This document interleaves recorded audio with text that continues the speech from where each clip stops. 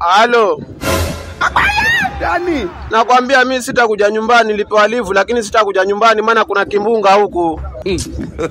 Eh, kimbunga Idai hata kwenye sahi niko nakwambia niko hospitali hapa maana basi kinaleta baridi, joto, mwili moto, mongomongo, kila kitu. Eh, hicho kimbunga Idai kimefika Mombasa, hata nasikia huko feri hazifanyi, sijui nini, maji yamejaa ni mengi. Usije kuniangalia kwa sababu hivi vimbunga vitaleta madhara hivi, viangusha miti, majumba. Nakwambia mimi tena, hivyo vimunga vyasemekana ni vingi. Tukimalizana na Hidaya, kuna mwanamisa anatungoja, kuna mwanalima, kuna mwanaidi, yaani ni vimbunga. Mi nawe naona tutakutana tu Disemba. Eh, kwa sababu sasa vimunga vimeleta shida, ni shida yani hakutokei. Hata mimi mwenyewe sasa hii niko kwa daktari hapa ndani kabisa, tena hata ndo nimetoka kupimwa nani hii Carburetor.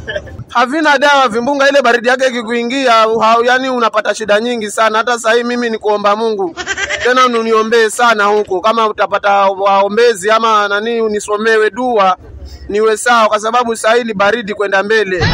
Ah, ni hidaya, ni majina ya vimbunga vinakuja hivyo. Si eti niko na mwanamke mimi, niko kwa, niko kwa daktari sahihi, ni kimbunga kilitwa hidaya watu wamefukuzwa, hata feri hazifanyi saa hizi. Inasemekana kwamba hiyo kitaleta shida. Sasa mimi nitakuja vipi nyumbani? Wewe jipange vile utakavyojipanga, uone kama ni kwa kukopa ukope, lakini mimi huko ni Disemba ndo nitakuja.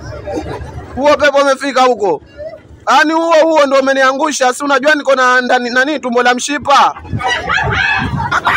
Ah, ni madaktari ndo wanacheka hao na nurses hao ambao walikuwa wamegoma, wamerudi sasa ndo wanafurahia wamepewa pesa zao. Eh, siko feri nani ameniona feri mimi nakwambia niko kwa daktari hapa Manyata natibiwa. Eh, imenirudia ile tumbo langu niko na shida mimi toka tangu Ramadhani unajua nilikula nani daku kwa wingi na nini sasa nika nipata shida kutoka tangu hiyo siku. Ndio hiyo nakwambia hii baridi ni kali watu wajifiche waangalie mambo ya ushauri wa Wizara ya Hewa sijui hali ya hewa eh. Tanzania kiligonga sijui Mfiji huko watu wamekufa hata kila mtu sasa bado huku Mombasa ndo kimeanza sasa hii na kimeanza na mimi tayari.